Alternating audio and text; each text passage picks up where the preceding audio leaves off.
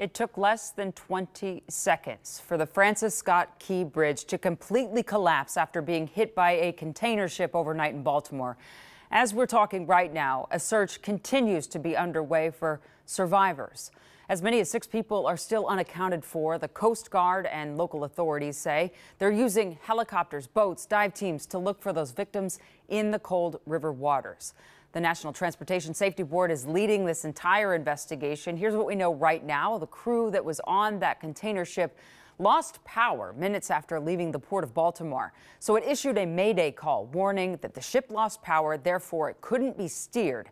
They did that to help reduce the number of drivers going towards the bridge. Many of the vehicles were stopped before they got onto the bridge, which saved lives in a, in a, in a very, very heroic way. The Coast Guard says search and rescue operations will continue into the night, and they do not plan to stop while it gets dark overnight. And here in our Twin Cities, the 35W bridge will be lit up as a way for us to show support and solidarity for the state of Maryland and the city of Baltimore. It will be red, white, and yellow and black. Those are the colors of Maryland's flag. And of course, all of these developments resonate a little bit different here in the state of Minnesota. On August 1st, 2007, we watched in shock as our own 35W bridge collapsed over the Mississippi River during rush hour. Karla Hult and I were both reporters here at KARE 11 at that time and remember it all too well. Obviously, circumstances different, but the trauma of what happens in these immediate hours feels so similar so similar, Jana. We all probably remember vividly where we were, what we were doing on that night. I recall taking off my heels and running towards the bridge as people were frantically running away. And as reporters, of course, we tried to document the disaster and the heroes who were literally diving into the water, rushing to save those who survived. It was so frantic. And then there were our community leaders, those who had to accept the surreal crisis and then themselves jump into action in the absolute worst of times. If leaders are judged by how they respond to crisis. Were you forever changed, would you say, by what happened on August 1st, 2007? Then former Minneapolis Mayor R.T. Rybak's defining moment arrived nearly 17 years ago. I am definitely forever changed by that.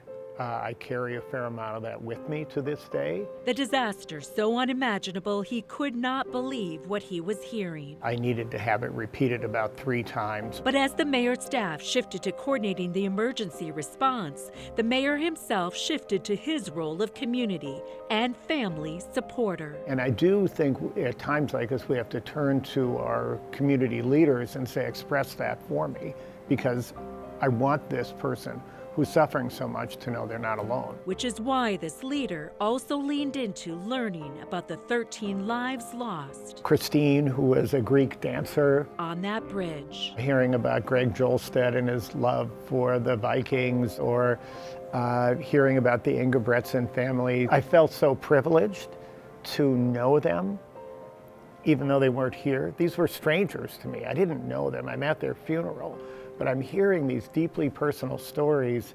And then I tried to fuse that together about what happened at that moment, at that last moment when all of these strangers now were tied together forever. Tied together by a tragedy not unlike what we're watching unfold today.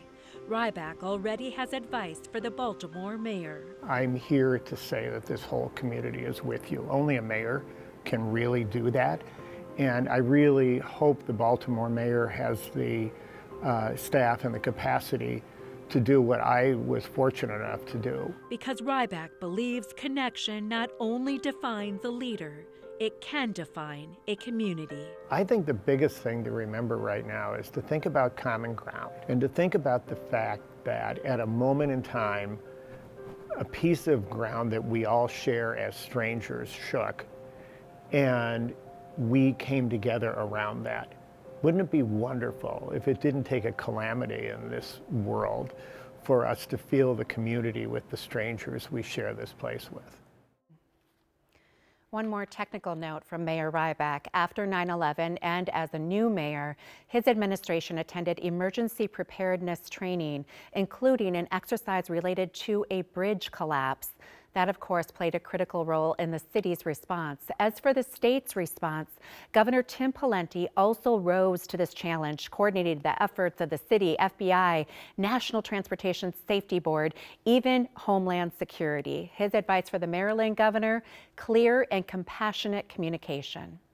Make sure you get your arms around the facts and communicate with empathy, the sense of loss and grief, but also the sense of confidence that there is a plan, that we're doing all that we can to rescue and recover the lost and, and take care of the injured, but then also finding out what happened and beginning the rebuilding process too. Both Governor Pawlenty and Mayor Rybak are ready to support their counterparts in Maryland. Pawlenty is especially proud, by the way, of how the state managed to rebuild that 35W bridge in a year, which is remarkable. Also remarkable, Jana, that bipartisan response mm -hmm. in that crisis. We had Governor Pawlenty, a Republican, Mayor Rybak, obviously a Democrat, and just coming together to collectively represent and support the community. Yeah, and to remember that time, or those two names were the first that probably came to you and mm -hmm. to mm-hmm. myself and knowing that they both would agree to do these interviews and, and share because I still remember what shirts those men were wearing that mm. night. I remember you know how crammed it was in city hall i remember the fear of how many people we thought we might have lost mm -hmm. it, it, but everybody was on the same page yeah everybody on the same page and, and that collective profound feeling of overwhelm and honestly grief right from the right. beginning right? Yeah, no question. So grateful for those leaders taking time today to reflect and share with us. Thank you so much, mm -hmm. Karla, for speaking with them. Well, a reminder, we will have the latest developments of what happens in Baltimore on our website throughout the night and tonight on our news at 10 o'clock.